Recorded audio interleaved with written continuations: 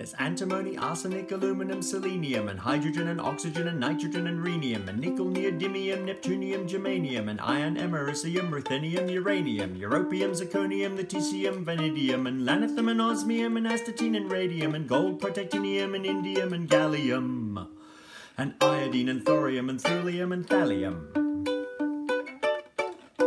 There's yttrium, ytterbium, actinium, rubidium, and boron, gadolinium, niobium, iridium. There's strontium, and silicon, and silver, and samarium, and bismuth, bromine, lithium, beryllium, and barium.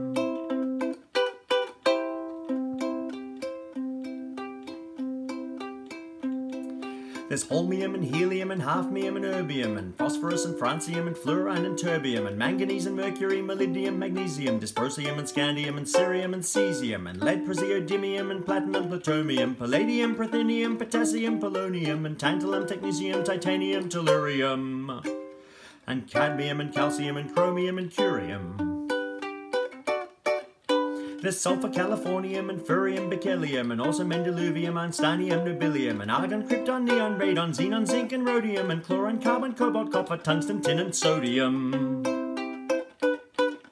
These are the only ones of which the news has come to Harvard, and there may be many others, but they haven't been discovered.